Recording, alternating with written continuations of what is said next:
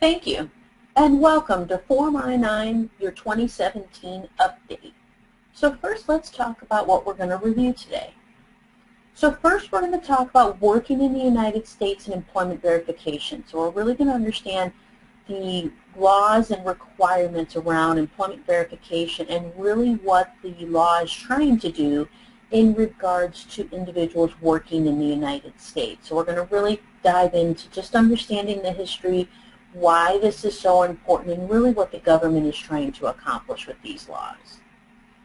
We're going to talk about discrimination requirements. So what things do you need to be aware of from a discrimination perspective? And this is super duper important. So we're going to take a, a good chunk of time to really understand discrimination because I would say 90% of the time when employers get in trouble for discrimination, it's not intended. And a lot of times employers don't always necessarily understand why they're in a discrimination case because they didn't believe they did anything incorrectly. So we're going to talk about that and kind of understand the importance of the individuals who are doing the I-9 process, make sure that they're well trained and know how to handle this process accurately. We're going to also talk about how to properly complete an I-9. So we're going to go section by section of the form. We're going to talk about the changes and the updates all through July of 2017. So we even had um, updates to the form as soon as July of 2017. So we're still all getting used to a new form.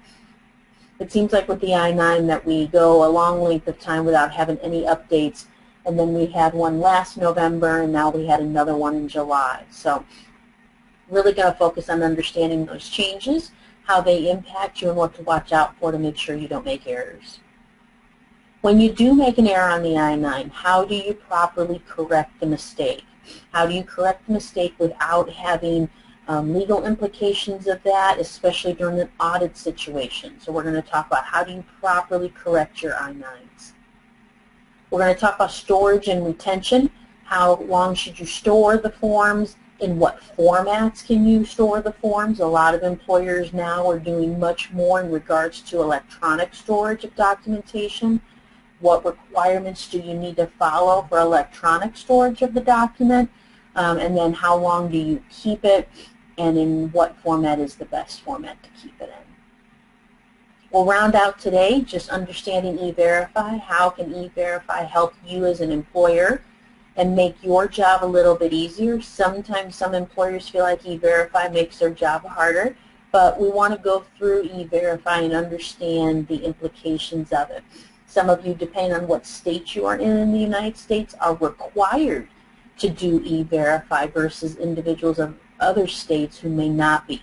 So we're going to talk about that. And then we'll have a brief time at the end for question and answer. So as you can see, we've got a lot to cover in a short period of time, so let's get started. So working in the United States in employment verification, where did this start and what was the intent of the law? So this all started back in 1986 with the Immigration Reform and Control Act.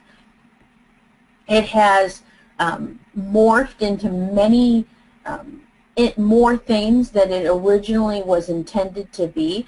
The law itself of this act has not changed much, but we've had a lot more conversation here within the United States about immigration and the right to work here in the United States.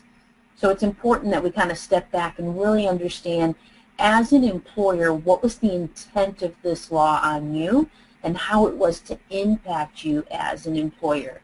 So really what the law states is that you as an employer are prohibited from knowingly hiring individuals who do not have work authorization here in the United States.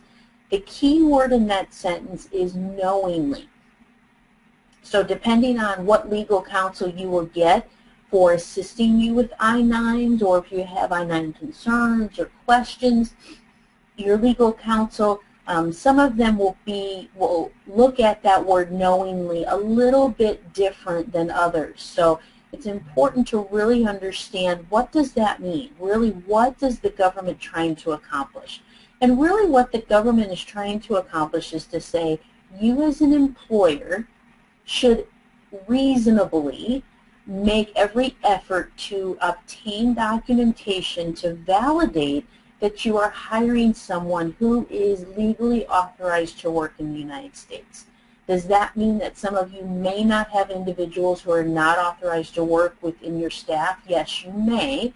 But if you have reviewed the accurate documentation and it appears to be genuine, so we're going to talk about that later in the webinar today, it's important to understand that as employers, you are not required by law to become document experts. So, you know, your intent is not for you as HR individuals or site managers who may be doing I-9s and you're attending this webinar to better understand it.